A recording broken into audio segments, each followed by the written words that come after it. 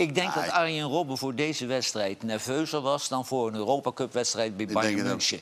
Want kijk, die hele streek die is op hem gestort. Hè. Die vinden het zo fantastisch, want die club was op sterven na dood. Er werden geen seizoenkaarten meer verkocht. En hij zei, ik ga bij Groningen spelen. En het ontplofte. Ja. Dus eh, die jongen die, die was daar zo mee bezig. En ja, dit kon hem overkomen, want dat heeft eigenlijk zijn hele carrière... ge- Het heeft hem dat geteisterd, hè, die rare spierblessures. Maar ik, ik las Valentijn, die zei vandaag in de krant... Dat, dat Groningen zo slecht, hij moet het niet eens meer willen. Hij moet gewoon stoppen nu. Nee, nee, kijk, ik vind eigenlijk vind ik het prachtig. Arjen Robben geeft het go- goede voorbeeld.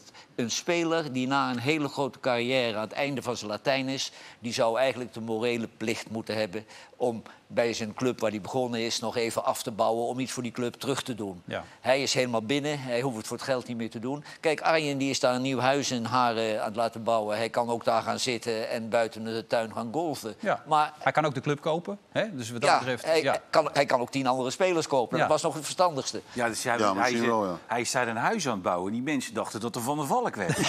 die, wisten niet, die wisten niet dat het het huis van Arjen Robben was. Ja, Ja, dus maar een de- beetje Beverly Hills. dat het een Van der Valk Maar wat hij doet, verder is zo verschrikkelijk moeilijk als hij een jaar niet gespeeld hebt.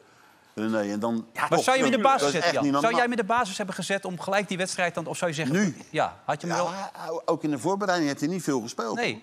Nee, dat- maar hij, hij, je pakt wel hij zou in de rust bepalen of hij de tweede helft Ah, ook zou ah, spelen. dat hè. weet ik niet. Ja. Maar eh, hij, hij is natuurlijk hartstikke fit. En met dit soort spelers die Groningen tot zijn beschikking heeft...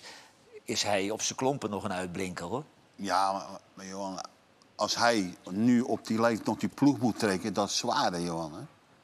Hoe oud? 6, 37? 36. 36, gaat 37 januari. En, ja, en je moet dan nog de ploeg meetrekken. Want iedereen verwacht ontzettend veel voor hem. Hè? Ja. Nou, maar Van, daarom is het ook zo moedig dat hij dit durft. Daarom, dat wel. Voor nog meer hoogtepunten download onze Veronica Inside app.